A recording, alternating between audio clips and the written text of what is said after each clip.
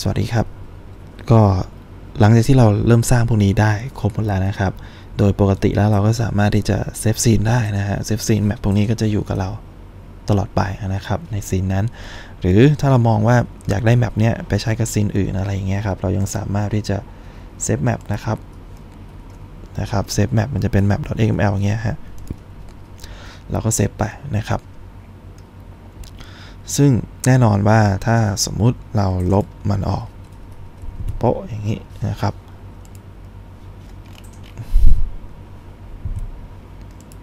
นะฮะลักษณะนี้นะครับเราก็ลองโหลดดูอ้าวกดผิดโหลดแบบนะครับปึ๊บ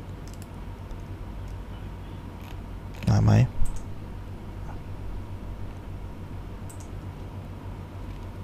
ไม่มาโอ้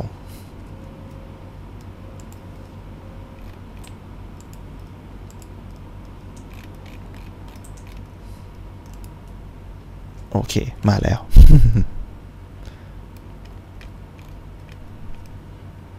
นะครับลักษณะนี้ อะ เดี๋ยวลบอีกที ลบอีกทีโปะ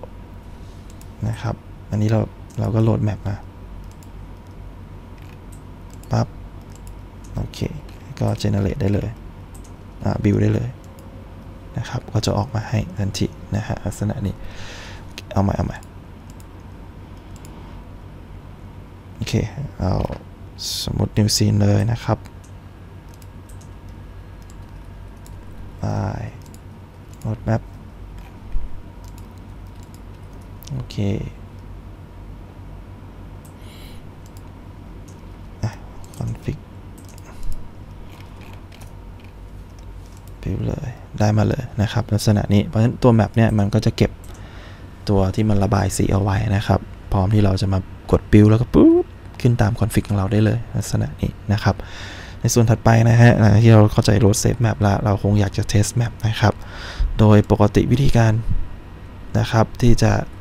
test map ง่าย ๆนะครับ เราก็แค่สร้างนะครับ ตัวละครสักตัวหนึ่งนะฮะเข้าไปเดินก็ได้นะครับ เพื่อที่จะได้ test map ได้ง่าย ๆ นะครับ วิธีการสร้างตัวละครตัวหนึ่งนะครับ ง่าย ๆ ก็ เนี่ยฮะเกม Object นะครับ เลือก TD Object เลือกแคปซูลก็ได้นะฮะ ได้มาแล้วนะครับแคปซูลก็ตรงบริเวณนี้นะครับแคปซูลตัวนี้เนี่ย ถ้า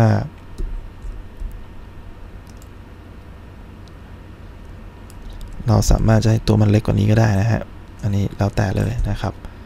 สมมติให้มันเล็กกว่านี้หน่อย โอเคนะครับอะได้ แคปซูลมาแล้วนะครับ เราก็จะเพิ่ม component ให้กับแคปซูลตัวนี้นะครับ component ที่จะเพิ่มเข้าไปก็จะเป็น component ทางด้าน character นะฮะ เราจะเพิ่ม FPS Input Controller เข้าไปนะครับ แล้วก็จะเพิ่ม Camera Control เข้าไปนะครับลักษณะนี้ แล้วก็ให้เราหันกล้องนะครับ คลิกไปที่ตัวแคปซูลก่อนนะฮะ กด F โฟกัสเข้าไปนะครับ แล้วก็พยายามหันกล้องนะครับ ให้ไปในทิศทางเดียวกับ ตัวแกน Z นะครับ โอเค ประมาณนี้นะครับ พอได้มุมมองที่ต้องการแล้วว่าอยากเป็นมุมมองบุคคลที่ 3 แบบไหน ก็เซตได้เลยนะสักประมาณนี้แล้วกันนะครับ เลือกไปที่ตัว Camera เรานะครับ ไปที่ Game Object แล้วก็เลือก Move to View Align with View นะครับ อะ มุมมองในเกมกับมุมมองใน scene เหมือนกันละนะครับ ย้าย Main Camera มาเป็นรูปของแคปซูลเวลาแคปซูลเคลื่อนที่ไปจะได้เป็นตามนั้นนะครับ ย้ำอีกครั้งว่าต้องให้คาเมล่าหันไปข้างทิศทางเดียวกับตัวแกนแซนะครับ สีน้ำเงินตัวนี้นะฮะเพราะว่าเวลาเรากดลูกศรไปข้างหน้า มันจะไปทางแกนแซนะครับโอเคพอได้ครบอย่างนี้เรียบร้อยนะครับ ก็ลองกด play ดู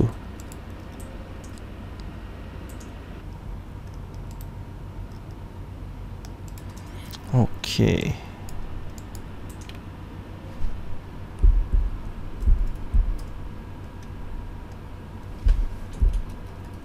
มานะครับ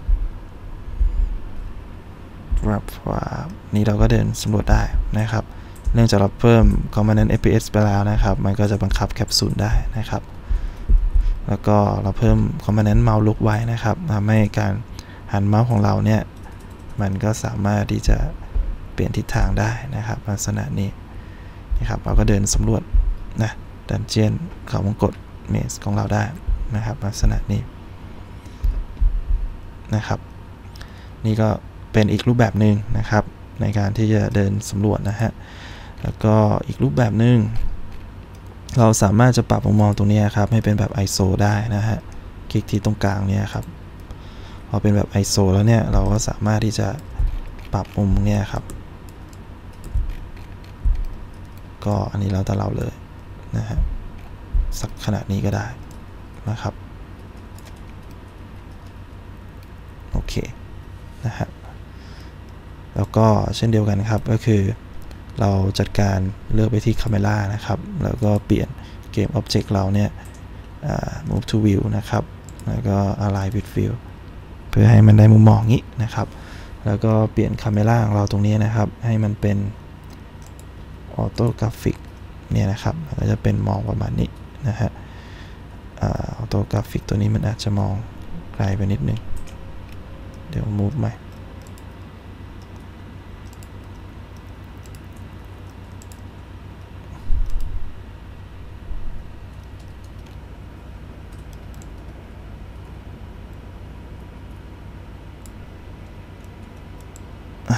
สักขนาดนี้อะนะครับ โอเคกด play ดู อ่า มาแล้ว แต่ว่ามันมั่วไปนิดนึงนะครับ เพราะว่าลืมติ๊กออกไปที่แคปซูลนะครับ แล้วก็ติ๊กเมาส์ลุกออกนะครับเพราะว่ามุมมองเราฟิกแล้วนะครับ มุมมองเราฟิก โอเค กดใหม่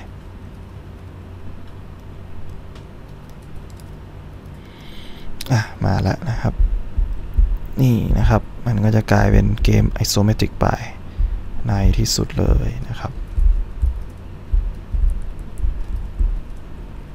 เนี่ยเราก็เดินสำรวจฉากได้นะครับ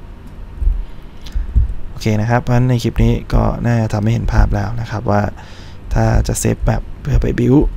ต่อไปทำไงนะฮะแล้วก็ถ้าจะ test map นะครับในการสร้าง character control ง่ายๆ นะครับวิ่งมาใน map นี้ทำยังไงนะครับ จากมุมมองแบบ 3 มิติแล้วก็มุมมองแบบ ISO นะครับมิติแล้วก็ ISO นะครับก็ครบถ้วนนะฮะนี่ก็สามารถที่จะไปทดลองเล่นได้นะครับ ก็โอเคครับผม